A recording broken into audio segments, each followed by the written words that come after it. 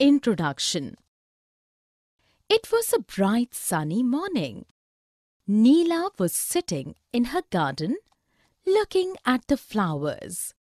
She saw Honey Bee on one of the flowers and was about to scream. She was afraid of honey bees. Her grandmother, who was also sitting near her, asked her not to be afraid of honey bees. In this lesson, you will learn about honey bee keeping. Objectives At the end of this lesson, you will be able to discuss the story of Anita, learn about honeybees and apiculture. A small girl. This is a story of a girl named Anita Kushwaha, the first female beekeeper in the rural Indian village of Bochaha. She was born to a very poor family and wanted to study. Her parents did not support her for studying in school. Anita convinced them that going to school was right for her.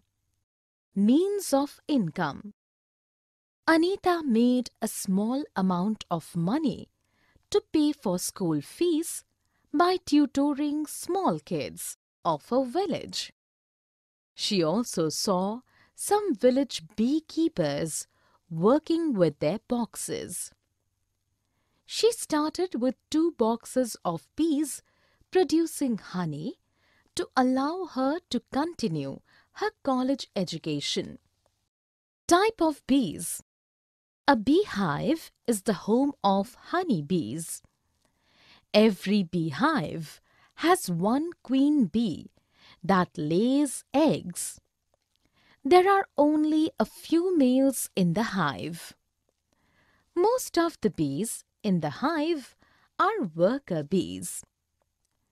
The worker bees are female and they are the ones that do all of the work.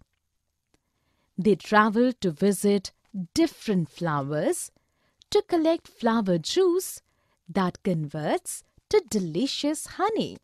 Bee communication. Bees have their own way of communication. A bee performs circular dance in the hive if it finds a source of food in a small distance from the beehive. Wag. Bee dance signals about the honey plants located at a remote distance. Apiculture Rearing honey bees for honey is known as apiculture. Anita now has 125 queen bees and 125 boxes, providing her with honey and income.